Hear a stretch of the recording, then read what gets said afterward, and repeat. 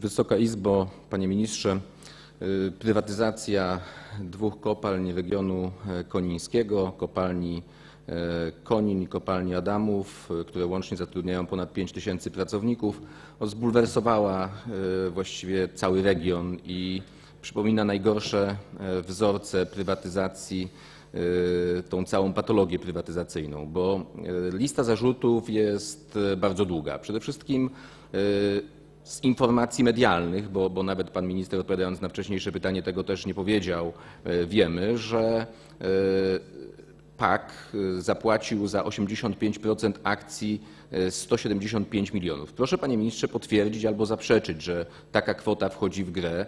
Jeśli by tak było, to cena byłaby rażąco niska i naruszałaby interesy Skarbu Państwa. Pytanie, dlaczego w ogóle w okresie kryzysu e, prywatyzuje się e, kopalnie węgla brunatnego, które należą do sektora energetycznego, strategicznego dla bezpieczeństwa Polski e, i sprzedaje się e, te akcje za tak niską cenę. E, Pytanie drugie.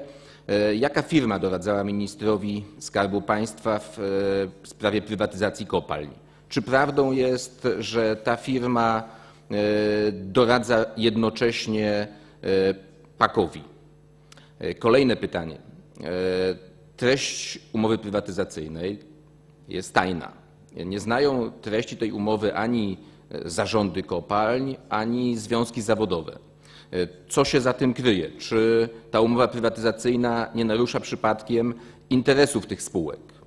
I kolejne pytanie e, dotyczy pakietu społecznego, bo e, pan minister Bury obiecał związkom zawodowym, że negocjacje w e, sprawie pakietu społecznego potrwają co najmniej 3-4 tygodnie. Okazało się, że trwały 5 dni. I tak naprawdę Ministerstwo Skarbu Państwa bardziej reprezentowało interesy inwestora niż interesy załogi e, reprezentowanej przez e, związki zawodowe. A związki zawodowe domagały się ochrony pracowników przez 5 lat, natomiast e, to, co, to, co zaproponował zarząd PAK-u, to jest 36 miesięcy dla pracowników zatrudnionych bezpośrednio przy wydobyciu i 6 miesięcy dla pozostałych, czyli jest to po prostu dzielenie załogi. I ostatnie pytanie.